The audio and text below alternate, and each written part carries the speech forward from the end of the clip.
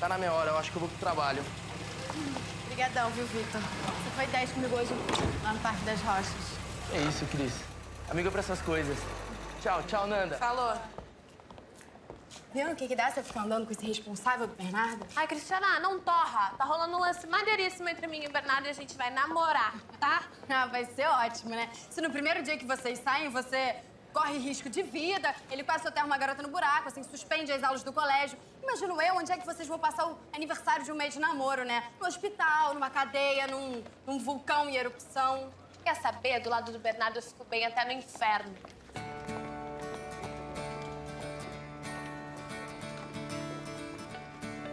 Um esmola, pelo amor de Deus. Qualquer trocado serve. Vamos embora, Cristiana? Eu queria muito te ajudar, mas é que uma esmola não vai resolver teu problema. Oh, vai sim, vai sim. Resolve o problema.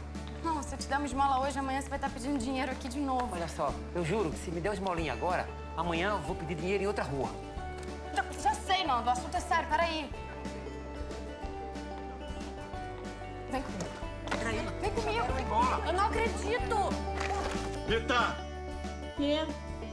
Para facilitar o teu resgate, a gente precisa saber exatamente a que distância você está da entrada desse buraco. Ah, Guimarães, tô bem longe. Não, não é isso. A gente precisa saber exatamente onde você está. Eu vou jogar uma pedra amarrada num barbante. Você pega essa pedra e tenta colocar ela na altura do seu umbigo. Você pode fazer isso? Não. Por que não? Por quê? Não. Tudo bem. Eu tô jogando barbante e você tenta pegar, tá? E aí? Caiu perto de você, Rita? Dá pra você pegar? Não, eu não tô vendo barbante nenhum. Tudo bem. Eu vou jogar de novo, tá? Dessa vez vê se você consegue.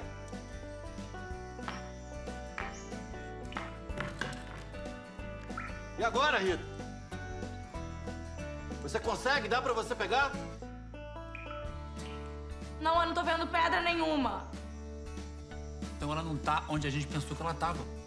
Ou então ela tá tentando dificultar o resgate. Por que que ela faria uma maluquice dessa? É isso que eu queria saber. Rita, minha querida, me escuta. Se você não ajudar, vai ficar muito difícil te tirar daí. Tá? Tudo bem.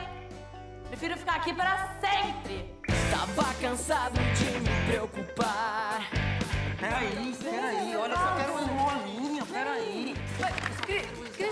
Que, que você vai fazer com esse mendigo, Cristiana? Eu vou resolver o problema dele, Nanda. Eu só quero uma esmola, moça. Oh, meu Deus. Quero fundo lá na emoção. Mexer no coração.